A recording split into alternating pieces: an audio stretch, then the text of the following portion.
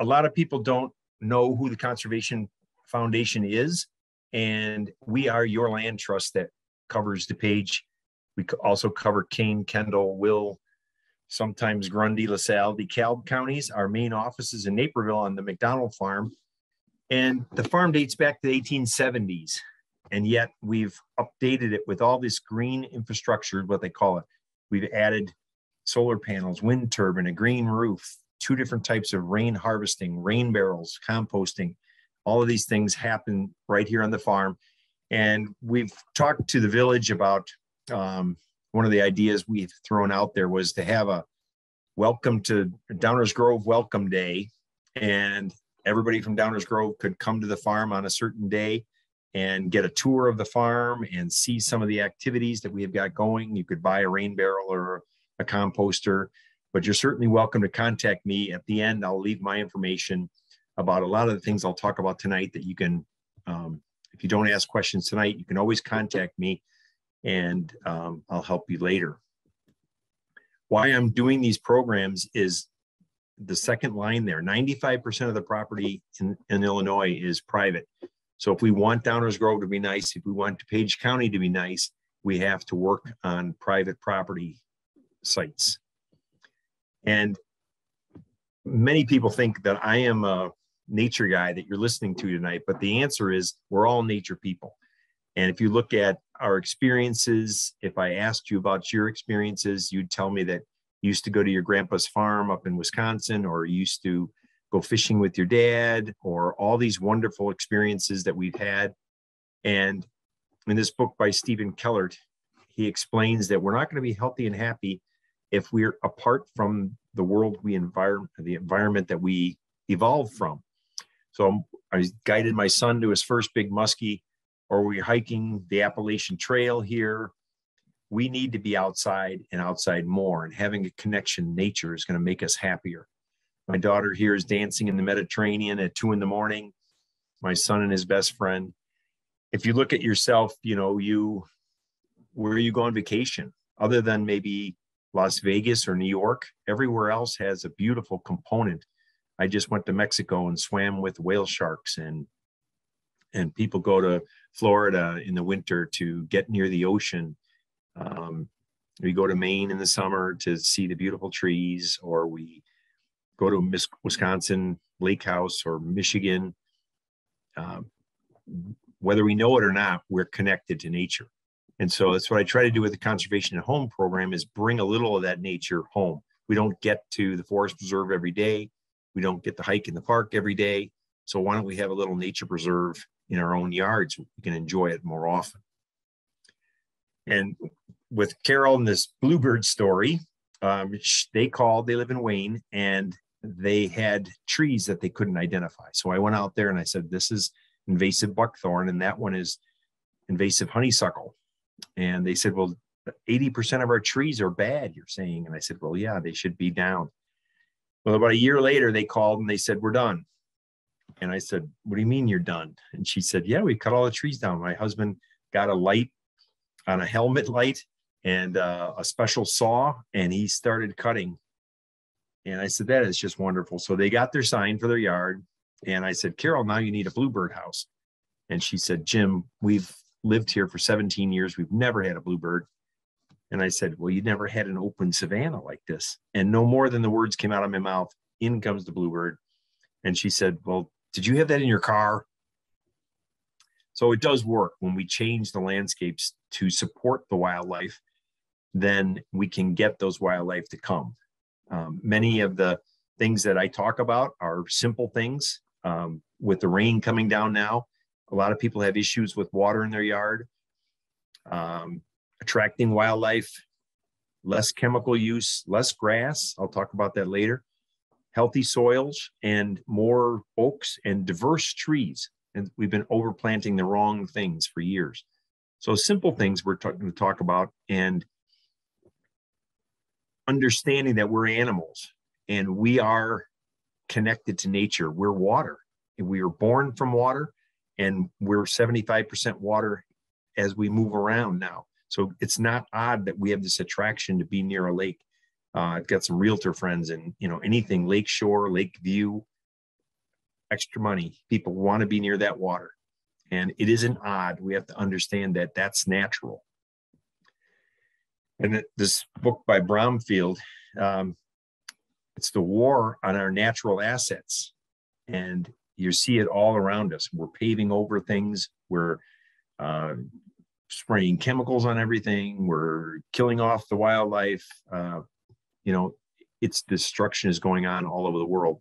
My son flipped on the TV and there was one of those gold rush shows, and this big piece of moving equipment was just digging into this creek up in in um, pristine area of Alaska, and it just made me sick.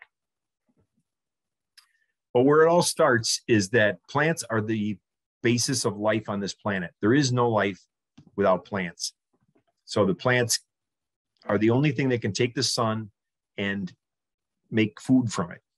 So everything else goes from plants. The water we have, the air we breathe, everything was derived from plants.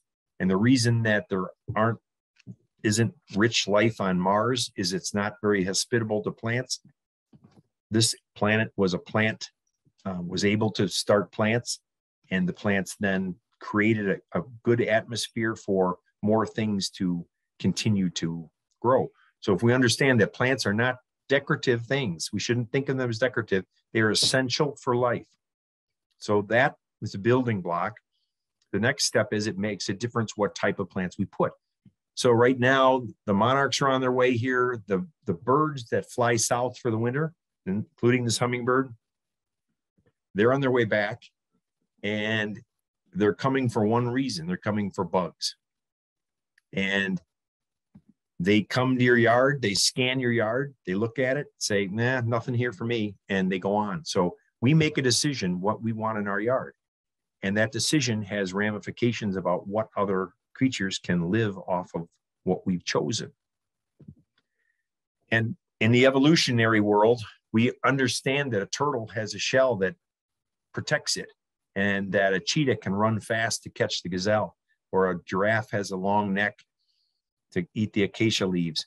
But we don't see evolution in plants and we don't appreciate it the same way. These plants the native plants from illinois are going down deeper than an oak tree and they're enriching the soil as they cast off 25% of their root mass into the soil every year.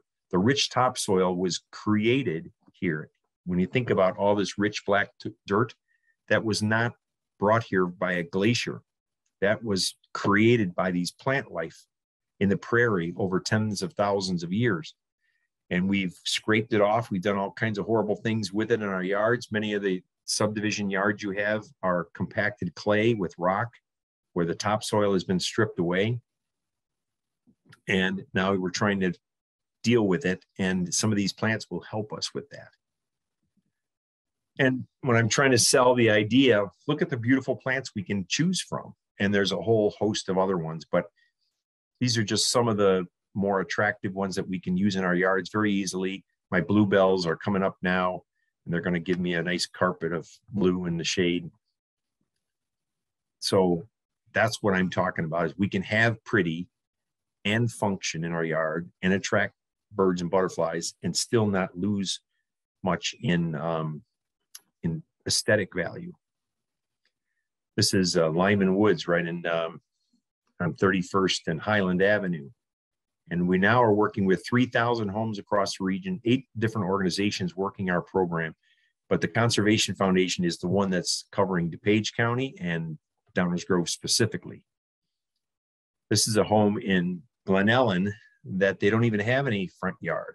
It's all native plantings. That orange is milkweed. I'll tell you about it later.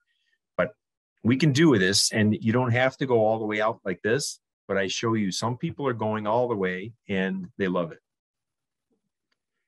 This is a representation of the different projects we've worked on across the area. Mine are covered in the bright red in this area, and the other organizations are here in blue and this crimson, purple, green um, all across the area. So if you have friends that live in Lake County or McHenry or all the way out to Rockford, we can help you implement some of these programs all over. And it isn't just residential properties. We do uh, commercial properties, hospitals, um, garden centers, gardens, you know, um, corporate sites, you name it, we can cover it and implement these same things I'm talking about on any different type of property. We now have over 165 different uh, corporate sites that we have worked on. The idea is it's going to bring you something better. This Monarda bee balm here, right by this pear tree, is going to attract pollinators and they're going to pollinate the pear tree when it needs to be pollinated.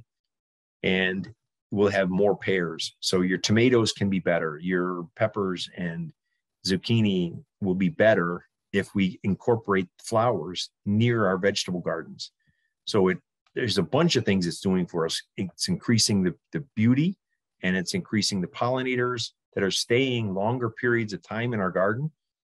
They may not just find this flower when it needs to be pollinated, but by having them right here, there's a much better chance they're going to find and be able to pollinate these um, other things that we want for our gardening. A lot of us are not playing soccer in the park anymore, but a lot of park districts are converting a lot of their areas into high quality natural areas. I saw a mink swim across the creek here when I was standing on the bridge. And we can enjoy this with our grandchildren or children, walking the dog, and the park districts are not going to be trying to mow all these areas that should be natural areas. This was one in Naperville Park District where this was just a mud hole and it was like a water kept sitting in here. Now it's no longer a ditch, it's a bioswale. And we have a place for the bunny to hide in here when the tractors are coming by mowing. They do less mowing with this and the water doesn't sit in here anymore. All that root system opens up the soil and the water per percolates down. So it's a win-win situation. Park District mows less, which saves them money, which saves us tax money. And we have habitat also. My granddaughter and daughter-in-law were in downtown Chicago and they found a milkweed growing in the crack of the sidewalk right on the edge. And on the milkweed is guess what? The monarch. And my engineer daughter-in-law was saying, why would a monarch fly into downtown Chicago? And why would it think that's a good place to go? But it did, and it opened their eyes to this whole system of, of the monarchs. They ended up taking home uh, a couple of larvae that I set them up with. And my granddaughter named the three of them Coco, Super, and Banana. And they watched the transformation of these and it even shocked my daughter in law to say, How in the world does a white, green, and black striped worm come out orange? And you can't think that that orange butterfly is going to fly to Mexico. And this was in September. And I said, it, That's what it needs to do. And it's pre programmed. And even the thought of, you know, she's raising my granddaughter and nobody raises these monarchs. They're, they're left the mother lays the egg and they're gone. There's everything is pre-programmed into them that they ever need to do. And it's it is an amazing story and it shocks people and it it's just mind-blowing to think all of this can happen right around us. So the simplest thing, like you see a bug there, it's not that simple. It's it's a whole complicated program. And even the fact that they're sitting on the on the milkweed, milkweed is poisonous. And they've adapted over the years, they've evolved where the caterpillar will eat the poison and become poisonous. They pupate into the butterfly and become poisonous in the butterfly form. So birds learn don't eat the orange one. They they taste bad and they make me sick. Won't necessarily kill a bird, but it after they tasted one, they will never want to do it again. So there's all this natural things going on and things we can learn. And it's amazing. And to bring that into our backyard is, is an amazing thing. They've since, um, my daughter in law and son have bought a home now, and absolutely we had to plant milkweed. So, my uh, background I used to own a hardware store, and I convinced the Conservation Foundation that problem solving is really what we need. And I can help you with water. helping your soil, attracting wildlife, growing things. People tell me that they have a brown thumb and they can't grow anything. Well, try growing the things that were meant for your yard. The prairie that was there for 10,000 years, it grows much better with less work than trying to put in Japanese barberry or Japanese this or Asian that. Um, so, a lot of things we can do that will be simple and make it easier for us. Went to one lady's yard and she said, Come in the back and see where the lake is. And when I got back there, I took this picture because obviously the lake is gone. But the conditions from April, May to this was shot in, I think, July, very different conditions that can exist. And these plants have to be adaptable. This is showing you that there is compacted clay, very little rich soil here. And this dirt here is screaming for organic material. So a composter, keeping all the leaves that you have in your yard, all the kitchen scraps, all of the organic material that you have that we've been throwing away, we need to put it back in the soil. So a composter is a very easy way. We're selling these at a low price to encourage people to do it. And we help people learn. I have um, videos all about composting and about rain barrels.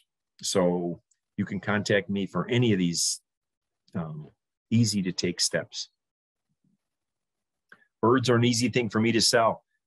The top right and bottom left are both invasive species. They don't belong in Illinois and they're overloaded here. They've adapted very well to suburban landscape and we don't want them here, certainly not in the count. 50% of the birds were in these four.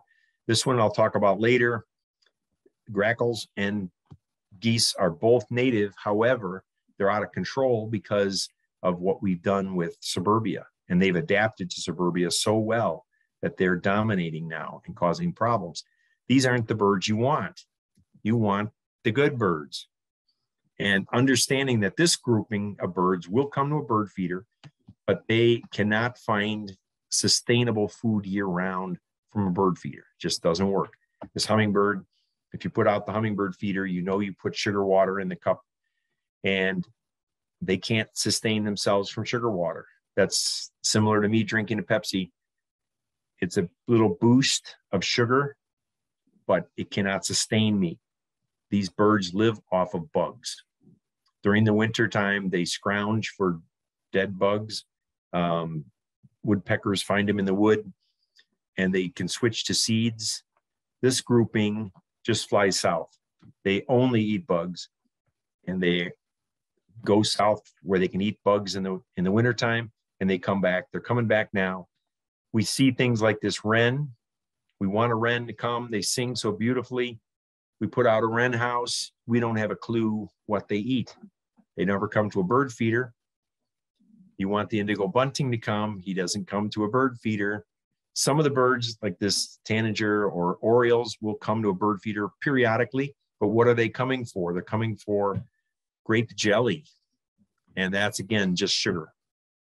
So they can taste the sugar, they can get a little something from it, but it's not sustainable. They're eating bugs, and the bugs are on the plants, the native plants from Illinois. The bugs have adapted to the plants. The plants bring the birds, the birds bring the hawk. The whole thing works from a plant base. And we either have it or we don't in our yards. Some of the birds, like the cedar waxwing and the oriole and tanager, will switch somewhat in the summer to berries. If you have a serviceberry or viburnum, chokeberry, you can attract some of these birds with um, the summer fruiting berries, or we could grow other plants. These are seed bearing plants that we can easily grow in our gardens. And you're seeing here a, a goldfinch eating the um, black-eyed Susan head. the poster child for all of nature is the monarch and but understanding that it's the ecosystem we're trying to go for so people love butterflies very few people ask me can you help me bring more snakes or skunks to my yard, or I want that possum, that ugly looking gray possum to come to my yard. You know, they you want the butterflies, you want the birds, but the rest of nature will come along. When I build butterfly gardens in the schools, the bees come along, but they're just you don't see them as much if you're like looking for butterflies. The bees come in, come and go and do what they do. Bees are actually doing the pollinating far greater than anything else. They do 80 to 90% of the pollinating. So, but they're under the radar and people don't like them because they possibly could sting. But the the bumblebees and the native bees that we have are not the ones that are stinging. So I try to bring that education out to people that we really want a full working ecosystem. And it's pretty simple things. You know, they they're looking for nectar. It isn't all about milkweed. This milkweed here, I took a picture of it because it was just defoliated from the eating of um, the leaves from these caterpillars. And typically, uh, one monarch will only lay one egg on a plant because of um, she wants to create diversity. So she lays one egg here, flies to another yard, lays another egg, and on and on. But obviously, there were several monarchs that um, were on these and defoliated them. So simple things. They want food, they want water, and a place for they for them to rest. And they're migrating through. Some of them stay, but some of them go all the way up to Mexico or from Mexico to Canada and back.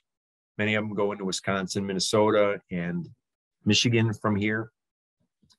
And when we look around there's our yards, this is one from Naperville, and many, much of it is just poor. And so I'm challenging you to look at your yard or look at place you work and see landscapes that are just not working well and could we do something with this? So they came to us and said, could you fix this? Well, I kind of laughed because the worse it looks, the more amazing I can make it look at the end. So you can become a hero from fixing it from bad to good. We got donations for this walkway. We put clumps of plants. Some of the trick to make them pretty are use clumps and make it look uniform. And how would we do this on a residential site, for example? And this one, the people complain the water from the downspout here would go onto the sidewalk. And they have no birds, they have no butterflies. They have to, the water becomes a problem with wet shoes in the summer. In the wintertime, it's ice that has formed on the sidewalk and they have to put salt. The salt kills the grass, the whole problem, and it's not working. Now, notice the big arborvitae here that was one of the first things that we removed. But look at that beautiful brickwork and stone. And the issue with the downspout was the grass was higher than the sidewalk. So it's not rocket science. We need to lower where we want the water to go. We wanted the water, in this case, to go this way.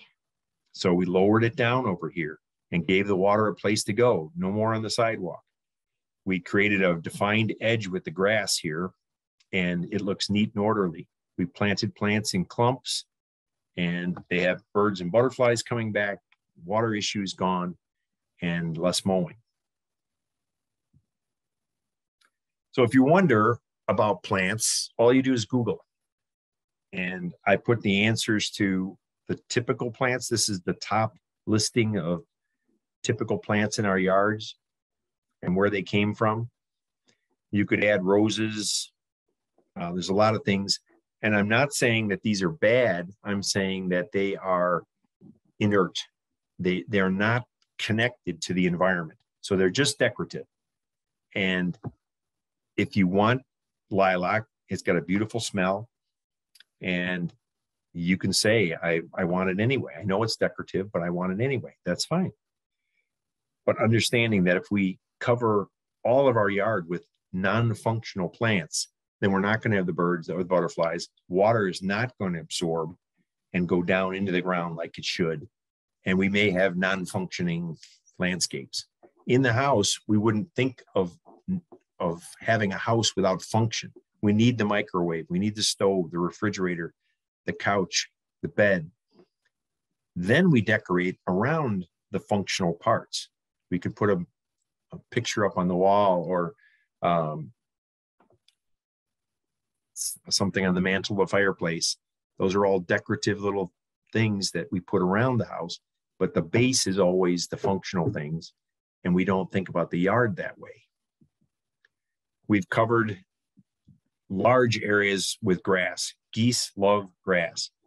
They are afraid of predators like dogs, coyotes, and fox, and they need space to fly. So they have to have a long distance of view so that they can get flying if there is a predator coming. They're fat and lazy. They just want to walk in the water and walk out. I don't want to put a blanket down here and have a picnic with my granddaughter. I know this has got chemicals on it because there isn't any dandelions and it's full of goose poop. This isn't a good place to fish. So, why do we do that? Why can't we have a better shoreline that is not going to be eroding and doesn't attract the geese? So, in this picture, we might have a heron or an egret in the water, and they're eating frogs and crayfish. And so it would be better for fishing.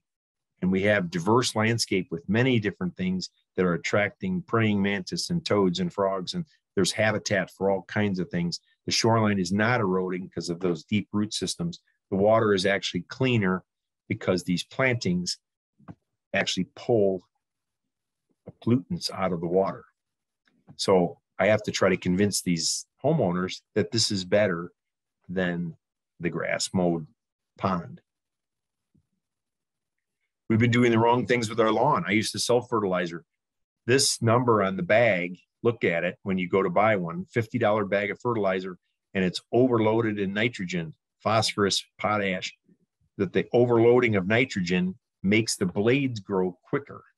And that's really not what you want. You don't want fast blade growth. You're going to have to mow it twice a week during May. And what you want is healthy. We know grass doesn't have a root system. You can buy it, you know, in a roll.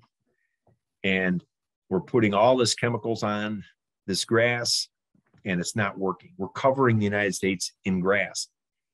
So the gr- dark green are states that have grass more than any other landscape. So in Illinois, there's more grass than corn and soybeans together.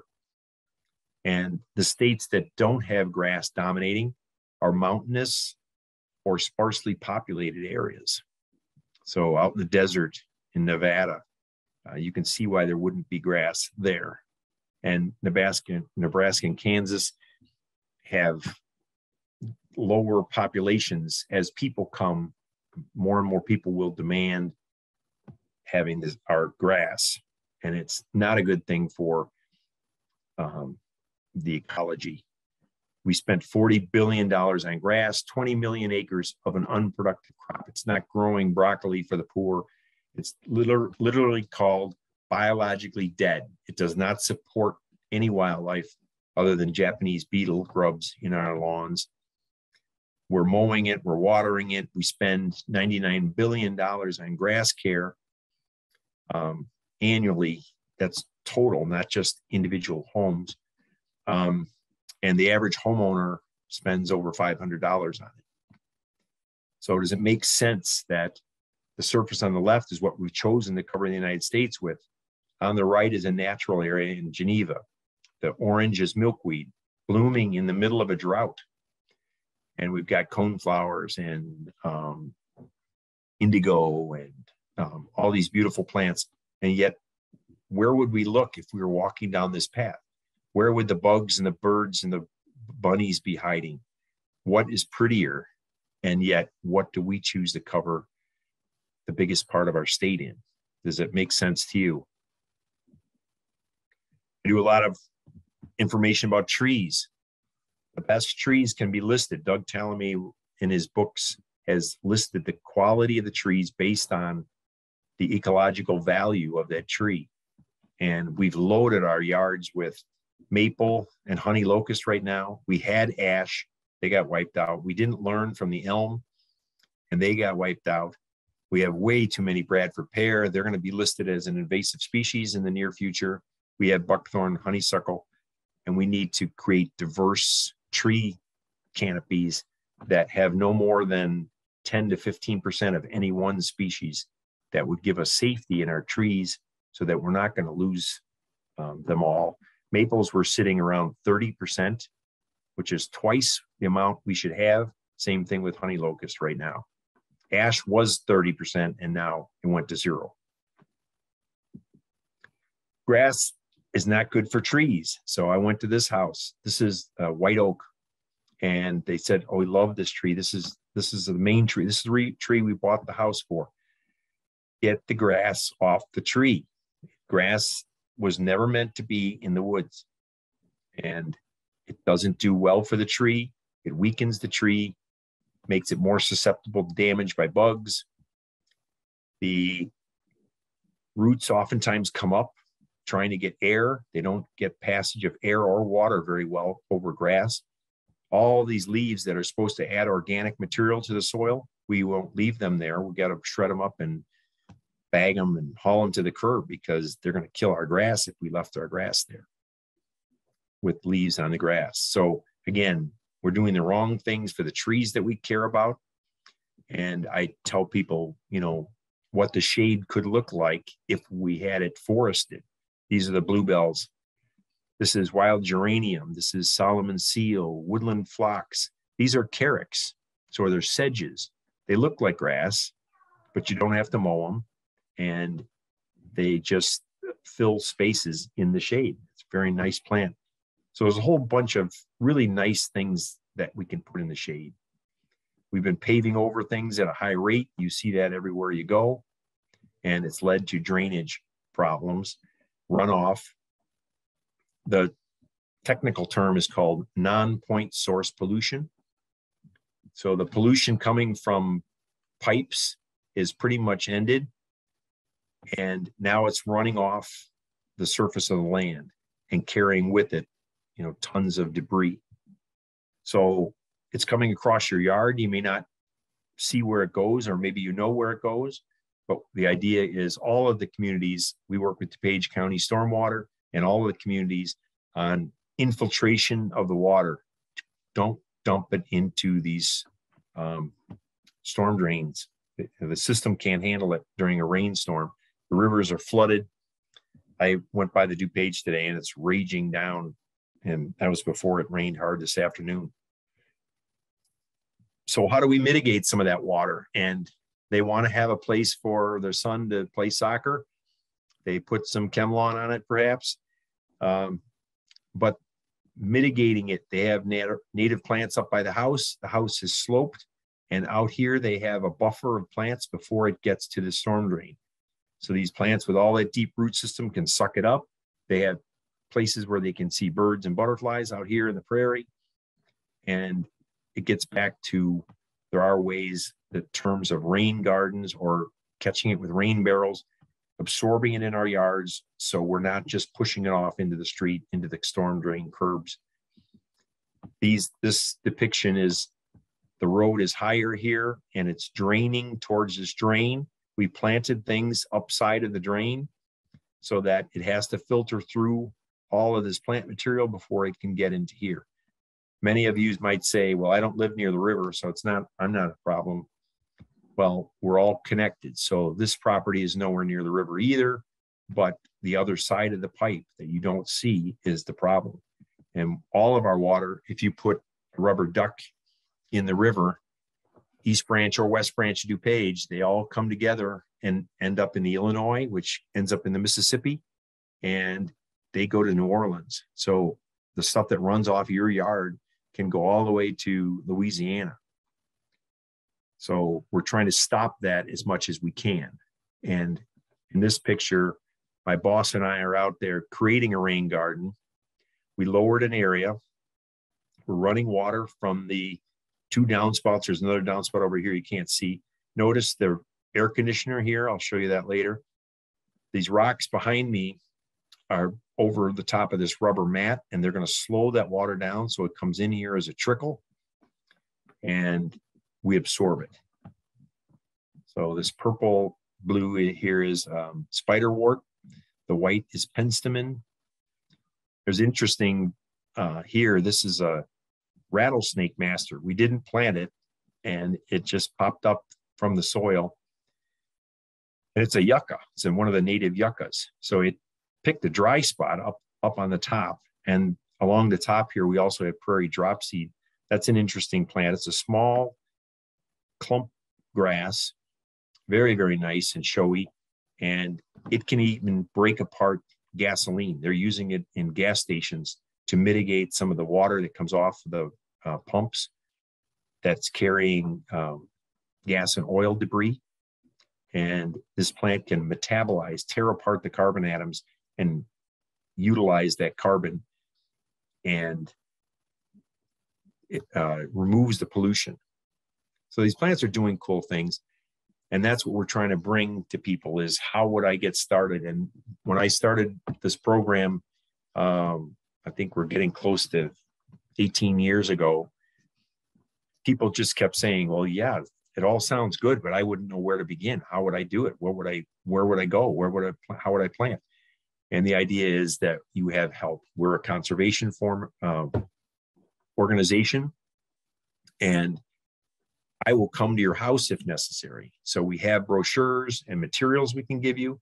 And if you need personal assistance, we can come out to your house and look at it. The whole thing, we're working with Downers Grove is one of our conservation and community program um,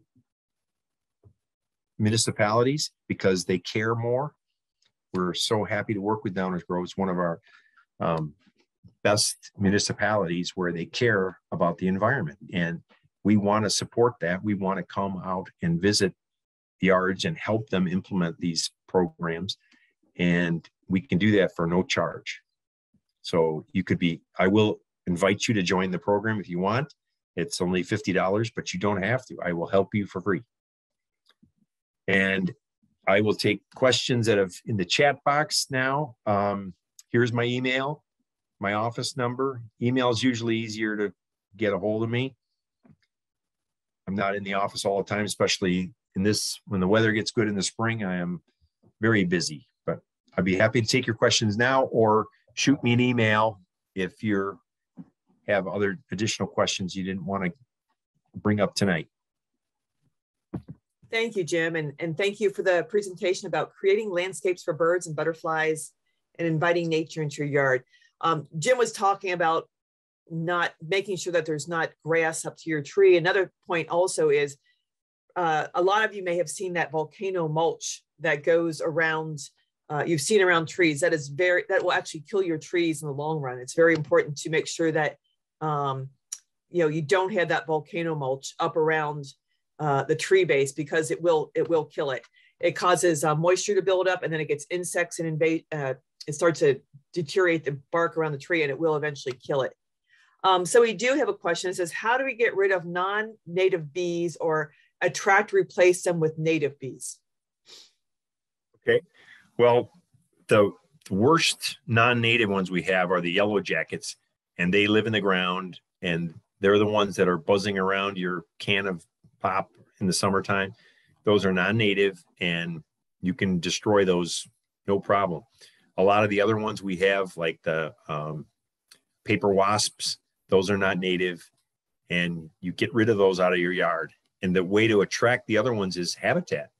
So you can't bring them other than you let's put food for them and they will come so the same thing with the birds we're going to create better habitat habitat's going to create a place for the good bugs to come the birds are going to come to get the bugs the whole thing works so it goes back to if you've got grass and japanese this and that and plants that don't support the bugs we're not going to have the bugs and the bees and all of those things. So it's it's all about creating habitat. And, and someone asked what mulch I mentioned. What I mentioned was don't you don't volcano the mulch. In other words, don't put it up around the base. Like if this is your tree trunk, make sure it doesn't go up on the trunk. It should be like a donut around the base of the tree. Um, as far as a mulch, what I would recommend we use is a, a shredded hardwood bark. And if you've if you've seen at the uh, hardware store or some of the nurseries around, well, enough nursery sell, but I've seen them in hardware stores. I've seen that dyed bark that's red or gray or black. That all that is is shredded pellets that they've dyed. and that is actually not real good for the soil. We had a soil specialist on from the Morton Arboretum, and she said that you know that's pine, and he says unless you're in a pine forest, it's not great to put that type of mulch on your your landscape because it does change your soil. Um, but a shredded hardwood bark is a, a really good uh, mulch to put down, and we recommend you know two or three inches. It keeps the keeps your plants moist, but it also also um, retains the moisture, and it but it also keeps the weeds out too. Um, someone asked, how about carpenter bees? They nest on porch beams. Well, a lot of the wood, you know, we used to have a forest and there were dead trees that we left up. And so we've removed, of course, we don't let any dead trees stay up in our yards. So we've removed places for the other creatures that live. Um, there's also shortage of homes for like woodpeckers, bluebirds nest in boxes, wrens even same thing. They're nest dwelling. Um, they don't make a nest like a robin does, created out of grass. They nest in holes in trees, and the trees are just not being left in suburbia. So what happens is they've got to find something else. So sometimes woodpeckers will peck on the side of your house, or carpenter bees, or we have problems. It's because we've changed the landscape and we're we're not thinking about the critters that were here before us. And and I just wanted to bring up too that if you're looking for native plants on our website, we are actually having a uh, native plant sale right now. We they're categorized by sun, shade. We do have some cultivars and also wet plants. So plants, as Jim mentioned, if you have rain gardens and you have issues, um, there's some plants that are adapted to those wet conditions, as he showed you in your the rain garden that he installed. So if you go on our website now, we do have a plant sale.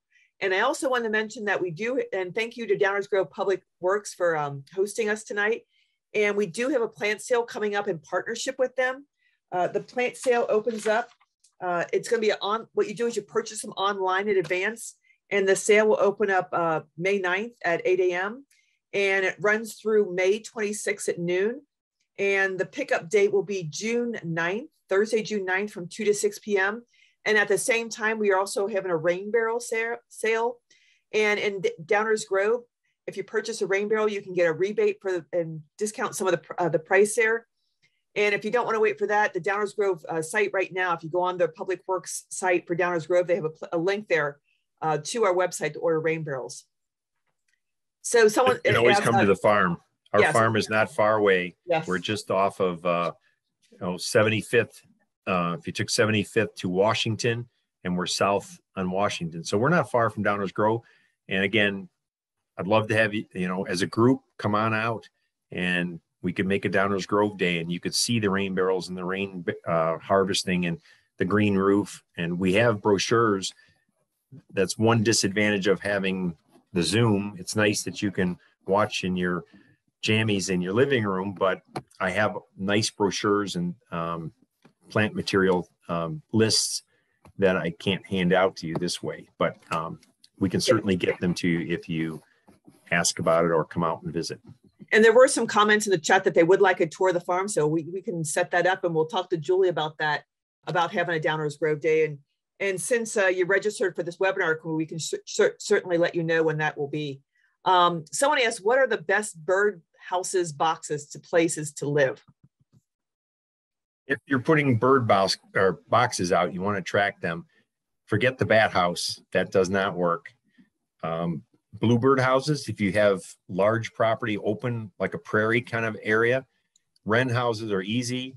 You can put up, you can look up, uh, Audubon has um, directions where you can make your own birdhouse.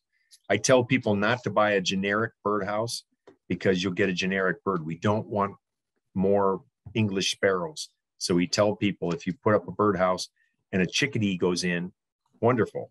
But if you see sparrows going in and making a nest, we would clean it out. So you don't let the sparrows nest in the in the boxes that we want to put out. So I, I do encourage people to put boxes out. Um, I had one that uh, was taken over. It, I saw the box was all chewed up, and I thought, well, what the heck? And I was going to clean it out. flying squirrel I have. And so you don't know what's going to take over, but let's put them out there and see what happens. And then again, you're you always buy a box that you can open up and you want to clean it out if there's sparrows or starlings or some other, you know, birds that we don't want to create more habitat for. So some the person that was asking about the problems with the bees on their porch, they were asking if it would be helpful to put a dead log near their porch. Yeah, having things like that, um, you know, the area that they're using now, you can cover it. So there's a variety of things you can do to caulk or cover the areas that they're going into and take care of that part of it. But yeah, the same thing I tell people like if they have um, it worked on a couple of homes where they had a woodpecker that was hitting the siding. And we put up a, a house on a tree out in the yard. And they immediately went into the box and quit banging on the house. Doesn't always make sense. I mean sometimes i've heard them banging on the gutters and things and you think what are they doing? But um, we don't have all the answers for nature but we certainly have um, a lot of them to help take care of these problems. And, someone asks, is there anywhere we can obtain monarch monarch larvae? Okay, you don't want to you don't want to obtain the larvae. You want to grow it, and they're on their way here. So I can help you get um, milkweed, and we put the plants in our yard, and you will have them um, come naturally. That the whole thing of you know people buying tadpoles and making frogs and you know this is one thing you do not want to do with Amazon. Yeah, and, and to add to that, so we in our yard we have a lot of uh, milkweed, and um, it was interesting because I had two places I had uh, milkweed. One was on the side yard near my neighbor who actually they spray their yard and on the other side of my house i had no larvae on the milkweed where my neighbors sprayed their lawn. But on the other side, we actually had like 14, uh, well, they all start as eggs. And what you can do if you're in, if you know, you look for the eggs and I had all these, uh, we had 14 caterpillars at one time.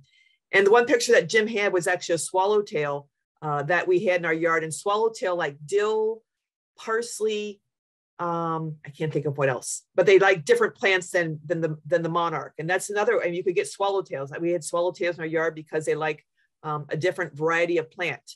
And um, and actually a funny story, just two weeks ago, I had well, at the end of the fall, I had a parsley and a caterpillar grew, grew on it or ate it. And I brought it inside because it was getting so late in the season and it went in the chrysalis and it never came out. And I just left it there all winter. And about two weeks ago, our dog went ballistic barking at it. And here it had come out of its chrysalis two weeks ago. I can't release it because it'll die. They say it'll drink uh, like blue Gatorade or sugar water. But I actually went called Wanamakers and said, can I come release the butterfly there? Because I know there's at least flowers. It'll live for a little bit. They said, well, it might get in our fans. They go, but at least it's out by the flowers. So, you know, you never know. They live for, you know, usually it's like two weeks. But yeah, you can raise monarchs and you can raise uh, swallowtails and you can attract them with the plants in your yard, native plants. Um, someone asked, we what can, are the native bushes that can be planted under trees? We have a whole uh, healthy hedges uh, brochure that we hand out from the Morton Arboretum. It would depend on um, the area. Like I would probably get some more information. So if it was wet, wet shade or dry shade, but um, in general, there's a lot of them like um, oh, witch hazel and some viburnums. Um, you know, the, the list is is big. So uh, the questions, you know, some of the ones like nine bark, they get to be a big, tall, 20 foot shrub. And yet other ones are shorter. And um, so I would have to ask ask more questions, but there are definitely a lot of different trees and shrubs that fill the lower areas and even small trees like redbud or pagoda dogwood fill a, a middle-sized niche yeah, the, the, the red bud and the, the pagoda dogwood and the service berry, what they call understory trees, which exactly what they are. You have the tall oaks and these are like the understory trees, so they can tolerate some shade. Um, and they and like the service berry has great berries for the birds. Uh, that's a great one and uh, plant for that or to attract them also. And also I just want to native hydrangea. There's yeah. you know yeah. a, a, lot of different things that um, that we can recommend for the yards. Yeah, smooth hydrangea and Oak leaf hydrangea are, what, are two shrubs that actually tolerate quite a bit of shade. Um, and they're great for filling in hedges and stuff. Uh, Margaret helped me out here. She said spice, spice, I can't say it, spice bush and tulip trees also uh, attract swallowtail as host plants. Thank you, Margaret. So right now, that's all the questions we have. Um, and we want to thank everyone. Sorry for the technical difficulty and getting a little late start here. Uh, for some reason, my Zoom link wouldn't start up on me. Um, so thank you, everyone. Is there anyone, that, if there's no more questions, uh, thank you, Jim, for your presentation. Sure. And uh, thank you for attending our Conservation Foundations and the Downers Grove Public Works Department presentation on uh, attracting birds and butterflies to your yard. And uh, I'll send out a recording of this. And I'm all, I will also send out information with the dates of the upcoming plant sale with Downers Grove Public Works. So you can purchase those native trees and shrubs uh, there and get a rain barrel. So thank you, everyone. Thank you. Bye-bye.